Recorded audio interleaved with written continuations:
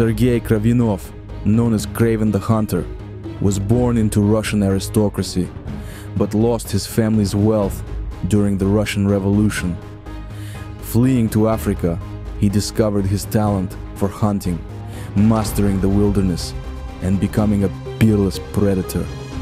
A mysterious herbal potion granted him superhuman strength, agility, and senses, as well as a prolonged lifespan. Declaring himself the world's greatest hunter, Kraven sought ever greater challenges. Kraven became obsessed with hunting Spider-Man, whom he viewed as the ultimate prey. Unlike most villains, Kraven wasn't driven by greed or malice, but by honor and pride.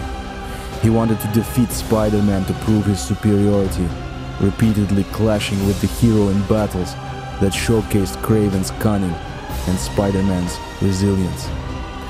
In the iconic storyline Kraven's Last Hunt, Kraven ambushed Spider-Man, buried him alive, and took his costume to patrol the city as Spider-Man. Proving himself by defeating a villain called Vermin, Kraven declared himself superior to Spider-Man.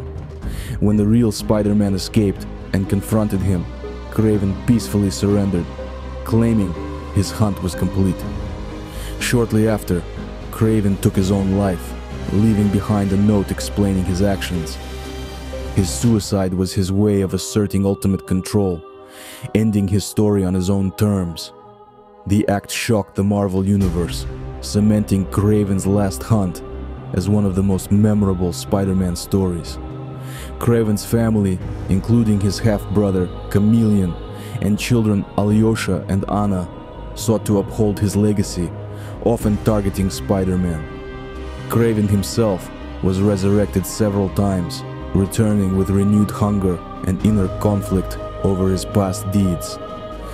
Kraven the Hunter is a complex character, blending pride, tragedy, and primal instincts.